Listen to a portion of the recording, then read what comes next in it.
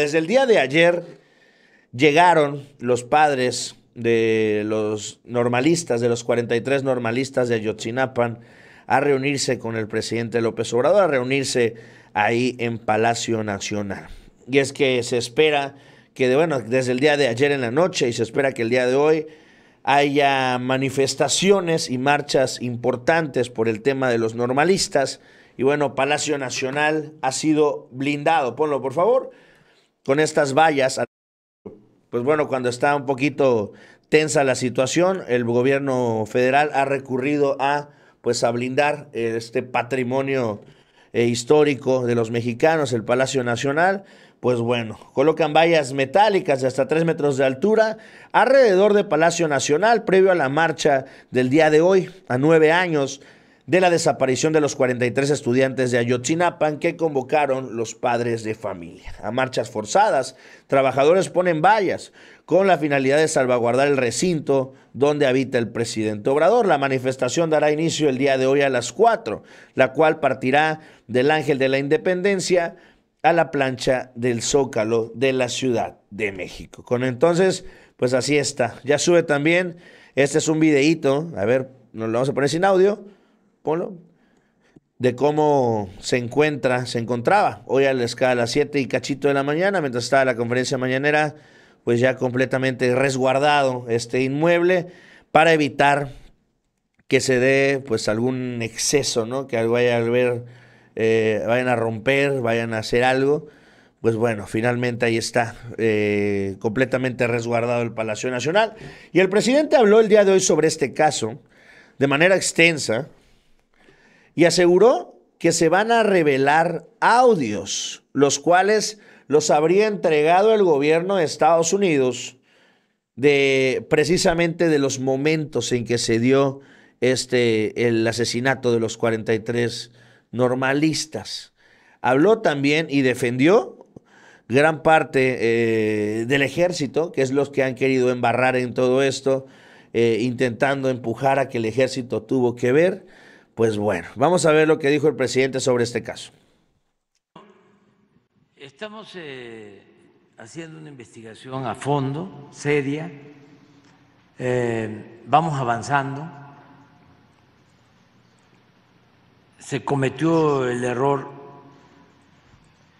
de ocultar la verdad y de desaparecer eh, pruebas y de implantar, imponer lo que se llamó pacto de silencio. Entonces, todo eso lo estamos enfrentando y hemos avanzado bastante. Ayer se tuvo una reunión con los padres, con los abogados, los padres de los muchachos desaparecidos, las madres, con los abogados, asesores y me había comprometido a entregar toda la información. Tenemos diferencias, ellos eh, eh, insisten de que el ejército no está cooperando, que quiere que no se sepan los hechos. Yo no estoy de acuerdo con eso, eh, porque el ejército eh, ha entregado toda la información que tiene y ha ayudado mucho en esclarecer estos casos.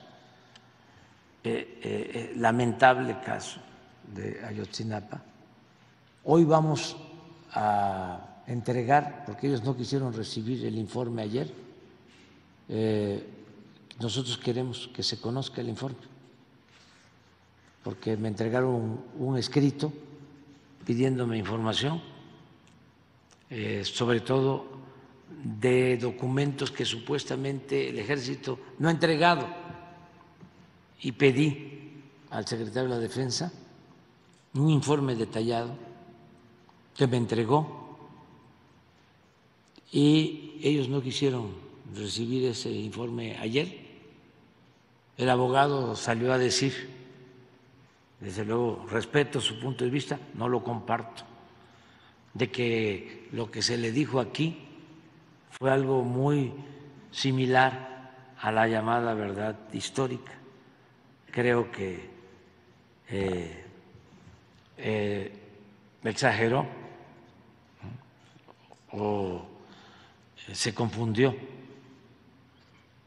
porque nosotros tenemos principios, tenemos ideales y hablamos con la verdad. Entonces, como no quisieron recibir el informe, porque es una carta mía que quiero que se conozca, es más, ponla, ¿no? La carta. Más el informe de la Secretaría de la Defensa sobre los documentos que ellos sostienen que no ha querido entregar la Secretaría de la Defensa, más todas las grabaciones o textos que entregó el gobierno de Estados Unidos y una relatoría del trabajo que está haciendo la Fiscalía Especial. Y todo esto lo vamos a subir, que me llamó la atención también, ¿por qué no lo recibieron? Y a mí me interesa que las madres, los padres conozcan todos los documentos, porque no le tengo mucha confianza a los intermediarios, con todo respeto. Sí, ya lo dije ahora. Y no comparto ese punto de vista. Es que no lo escuchó él. Este, pero este esta es la carta de ayer. Dice, de conformidad con la reunión que sostuvimos con ustedes, madres y padres de familia de los jóvenes desaparecidos de la normal de Ayotzinapa, con la presencia de sus abogados y asesores, y en respuesta a su solicitud del día 20 de septiembre, les comunico lo siguiente. Uno, hoy se les entregará un informe que pedía al general Luis Crescencio Sandoval González, secretario de la Defensa Nacional, sobre los documentos que ustedes están solicitando. En dicho informe se explica cuántas fojas y expedientes han sido entregados. Asimismo, se reitera el compromiso de continuar la búsqueda de otros escritos para no dejar ninguna duda sobre el manejo transparente y el recto proceder de esta institución del Estado mexicano. Pero les estoy anexando el informe del secretario de la Defensa, que va a estar ya eh, disponible. Eh, en la página del gobierno, abierto a todos. Espérate. Ah, este. Pues importante lo que dice el presidente, el avance en esta investigación que sin duda alguna, pues es de los, pues vamos a decirle lo que es, el, de los crímenes de Estado, pues que más conmoción causaron en su momento, sobre todo al ver cómo estaban embarradas las autoridades hasta el más alto nivel, como pues incluso alcaldes. Y eso es lo que no se dice, ¿eh? porque vemos que están ahorita recordando el tema del caso Ayotzinapan y exigen, y bueno, dicen que le empiezan a lanzar bombardeos contra el presidente López Obrador de manera de verdad completamente absurda e irónica, puesto que, a ver, los que cometieron este crimen de Estado fueron los priistas, fueron un sexenio priista y es más.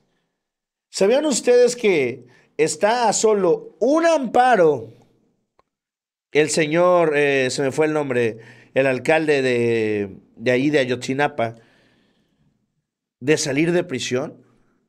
Porque Norma Piña le otorgó dos amparos, uno por el delito de tortura y otro más, no me recuerdo, pero creo que por enriquecimiento ilícito, con lo cual el señor está a solo un amparo de salir de prisión, de que lo libere la Suprema Corte de Justicia.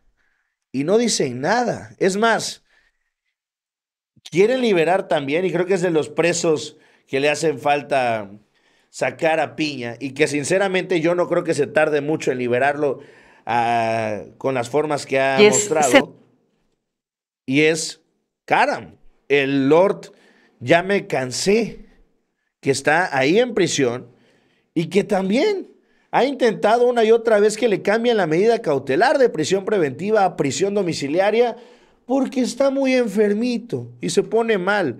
Incluso, ya lo decía Mauricio el otro día en el ganso, pero si no lo vieron, lo, repito, dicen que estuvo tan mal que este, incluso un día lo apoyó el señor que acaba de salir, Juan Collado, porque estaba sufriendo, pues al parecer, un paro cardíaco, algo por el estilo, y que con el medicamento de Collado logró salvar la vida. Así que está muy mal Murillo Karam y, pues bueno, ellos de los principales responsables. Recordemos, hay un video que es brutalmente indignante de cómo el helicóptero de la Procuraduría General de la República, el helicóptero de Murillo Karam, está aterrizando en el este, ahí en Cocula, donde se habrían eh, quemado, cremado los cuerpos de los normalistas.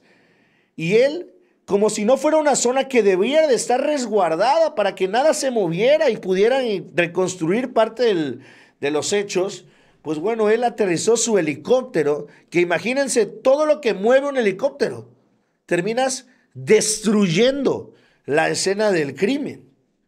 Ah, no, pero bueno, no fuera a ser que el Señor fuera a caminar para ir al basurero de Cocula, ¿no? Es, es de verdad indignante, lastima el caso de Ayotzinapa, pero lastima más, a mi punto de vista, la hipocresía de los ahora opositores queriendo eh, pues sí, hacer algún tipo de reclamo al presidente cuando ellos son los culpables de este crimen. En fin.